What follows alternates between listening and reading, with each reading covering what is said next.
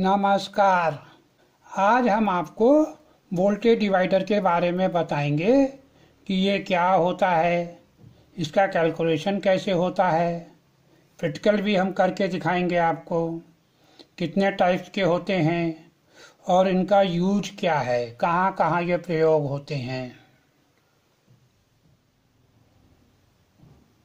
Voltage divider ऐसा circuit होता है जिसमें अगर इनपुट में हम ज़्यादा वोल्टेज दें तो आउटपुट में हमें थोड़ा वोल्टेज मिलता है।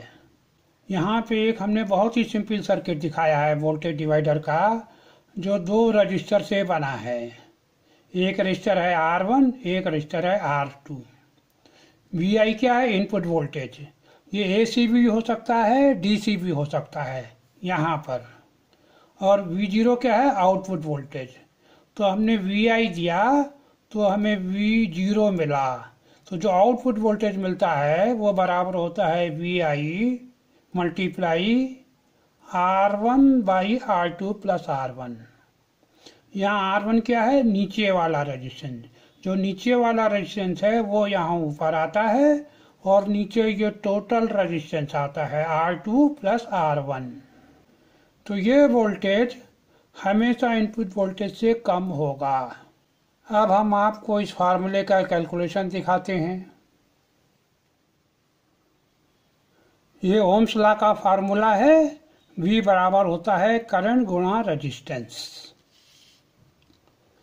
अब यहाँ पर वोल्टेज है वी आई ये बराबर होगा करंट मान लीजिए हमें करंट आई बह रही है तो आई गुणा टोटल सर्किट का रेजिस्टेंस जो है R two plus R one ये सीरीज़ में कनेक्ट है ना दोनों रेजिस्टेंस तो R two plus R one हो गया। इस फार्मूले से हमें करंट मिल जाएगी। ये देखिए आई बराबर हो गया। वी आई ये R two plus R one नीचे चला जाएगा। तो आई बराबर हो गया V I by R two plus R one अब हम ये फार्मूला यहाँ अप्लाई करते हैं।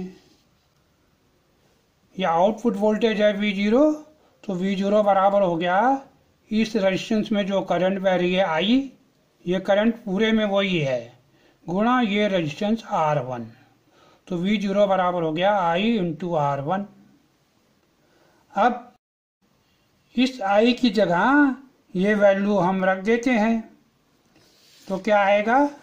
बराबर हो गया वी आउटपुट वोल्टेज इस आई की जगह हमने ये रख दिया। तो ये आ गया V I by R two plus R one into R one इसी को इस तरह लिख सकते हैं। ये वी आई ये वी आई है, ये आर वन ये आर वन है, और ये R two plus R one ये R two plus R one है। ये ऊपर रजिस्टेंस कौन सा है? ये वाला। और नीचे कौन सा है? दोनों मिलाकर।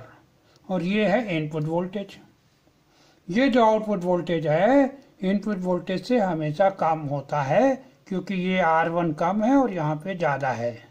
तो हमें फार्मूला मिल गया वी आउटपुट वोल्टेज बराबर V input voltage into R one by R two plus R one देखिए, यहाँ पे मैंने सर्किट असेंबल किया है। ये डीसी सप्लाई है। इस फाइन का वोल्टेज वी आई है। ये रजिस्टर आर टू है। ये रजिस्टर आर वन है। इस फाइन का वोल्टेज वी ज़ीरो होगा और इसका इसका कनेक्शन अभी हमने किया नहीं है। देखिए, अलग है। पहले हम R1 और R2 की वैल्यू नापेंगे और नाप के लिखेंगे कितनी है ये। तो देखिए R1 कितना है?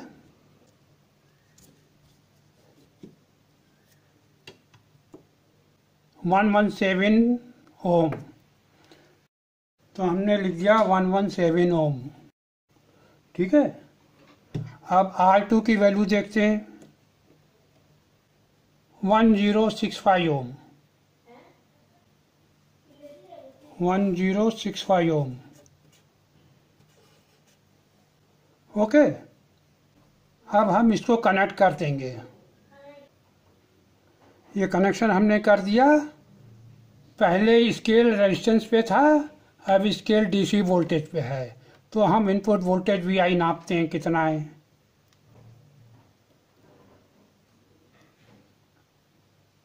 Nine point one three volt. तो हम लिख लेते हैं यहाँ पे 9.13 ओके? अब हम आउटपुट वोल्टेज नापते हैं कितना है? यहाँ पर पॉइंट नाइन वोल्ट। तो यहाँ लिख लेते हैं हम ज़ीरो पॉइंट नाइन वोल्ट। ठीक है? अब हम कैलकुलेशन से कैलकुलेट करेंगे। तो ये जो हमने मेजर किया वी आउटपुट वो सही आना चाहिए फार्मूले से। है ना? वोल्टेज डिवाइडर की आउटपुट वोल्टेज हमने ये निकाला था प्रैक्टिकल से। अब फार्मूले से निकालते हैं। ये फार्मूला है ना? तो इसमें सबकी वैल्यू रख देते हैं। देखिए वी आई कितना था? 9.13 वोल्ट आर वन कितना था? 117 ओम। आर टू कितना था? 1065 ओम प्लस आर वन एक सौ सत्रह। अगर इसको आप कैलकुलेट करें कैलकुलेटर से तो पॉइंट नाइन वोल्ट आ जाएगा। ये हमसे आ गया पॉइंट नाइन वोल्ट। लेकिन जब आप करेंगे तो शायद ना आए, क्योंकि इसके लिए आपको मल्टीमीटर बढ़िया वाला चाहिए। जो सस्ते मल्टीमीटर होते हैं, उनमें इतनी एक्यूरेसी नहीं होती। हमारे मल्टीमीटर से अच्छी वैल्यू आई है, इसलिए मैच कर रहा है। तो थोड़ा सा इधर आए तो कोई चिंता की बात नहीं है। ओके?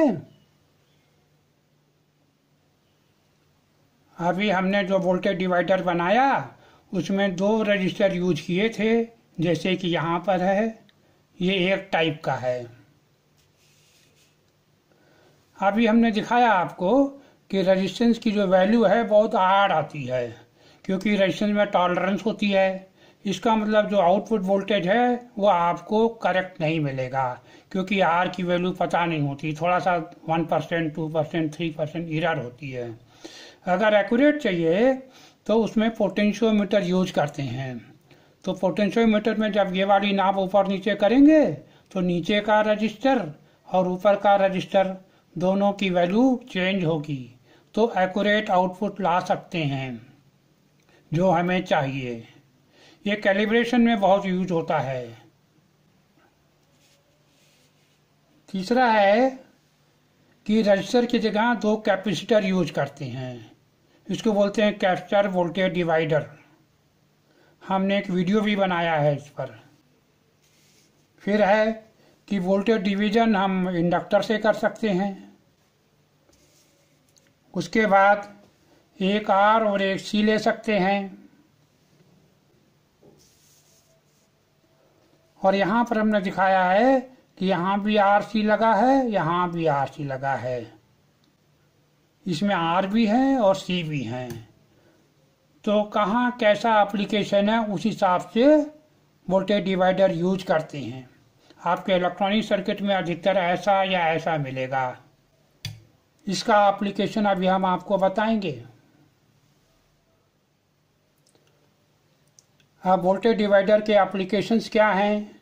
एक तो वोल्टेज डिफरेंस की तरह यूज़ करते हैं। हमें दो वोल्ट चाहिए, तीन वोल्ट चाहिए, चार वोल्ट चाहिए, उस हिसाब से हम रजिस्टर सेलेक्ट करके वोल्टेज डिवाइडर बना देते हैं। अब कैलिब्रेशन में कैसे यूज़ होता है? देखिए यहाँ पे फिर हमने वोल्टेज डिवाइडर बनाया है। ये दोनों रेजिस्टेंस इक्वल हैं। अगर आप 10 वोल्ट दें तो आधा वोल्ट यहाँ पाँच वोल्ट आना चाहिए। मगर ऐसा होता नहीं।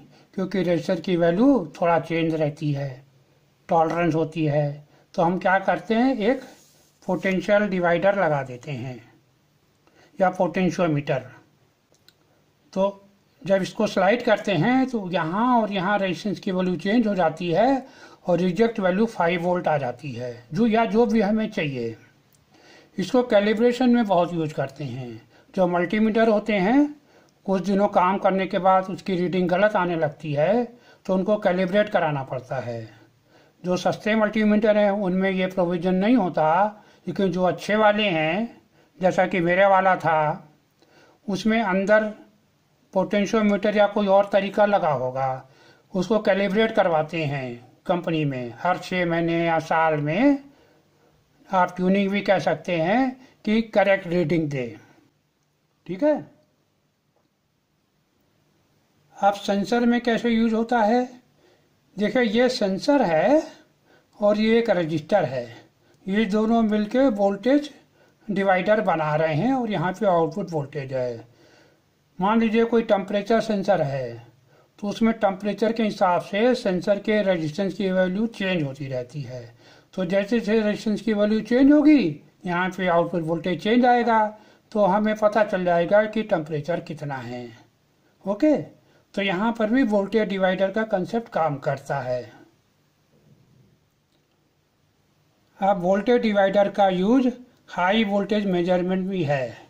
मान लीजिए 10 किलो वोल्ट आपको मेजर करना है तो 10 किलो वोल्ट सी को तो दे नहीं सकते। तो यहाँ वोल्टेज डिवाइडर लगा देते हैं जनरली उसमें आर सी दोनों होते हैं, और कैलिब्रेशन भी होता है।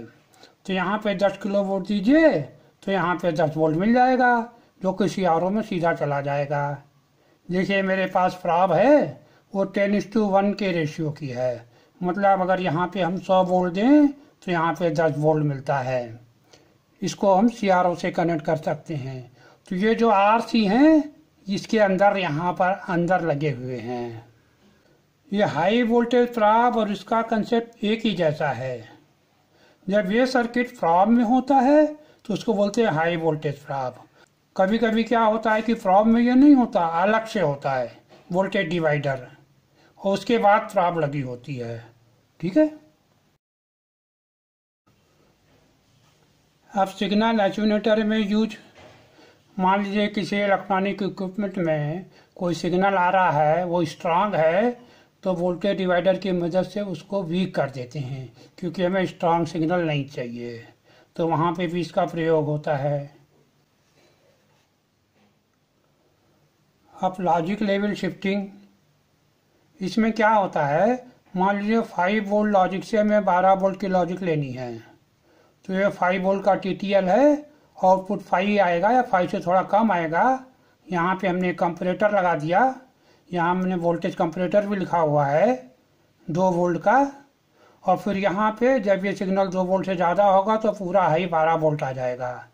अगर कम है तो ज़ीरो वोल्ट आ जाएगा। तो लॉजिक लेवल शिफ्ट हो गई। यहाँ पाँच और ज़ीरो वोल्ट थी, यहाँ पे बारह और ज़ीरो वोल्ट हो गई। अब ट्रांजिस्टर बाइसिंग इसमें भी देखिए वोल्टेज डिवाइडर है। बेस का वोल्टेज डिसाइड करने के लिए वोल्टेज डिवाइडर बना है। उसमें ऊपर वाला रेजिस्टेंस ये है। ये सप्लाई है डीसी और नीचे वाला रजिस्टर ये ये और डायोड ड्राप तीनों मिलके डिसाइड करते हैं। तो इस फाइन का वोल्टेज एक, दो, तीन, चार, चारों कंपोनेंट के हिसाब से आएगा। और आउटपुट वोल्टेज यहाँ पे आपको यहाँ मिलेगा यहाँ मिलेगा। कहीं भी ले सकते हैं, इसीलिए मैंने कनेक्शन दिखाया नहीं है और ये इनपुट वोल्टेज है। ऐसा सर्किट जो इलेक्ट्रॉनिक इंजीनियर है, उन्होंने बहुत सा देखा होगा। और वोल्टेज कंपरेटर वो अभी हमने आपको एक्सप्लेन किया था लॉजिक लेवल शिफ्टिंग में, और वो जगह वोल्टेज कंपरेटर यूज़ होते हैं, इसका हमने पूरा एक वीडियो बनाया है। अब आज यही समाप्त करते हैं। जय हिंद।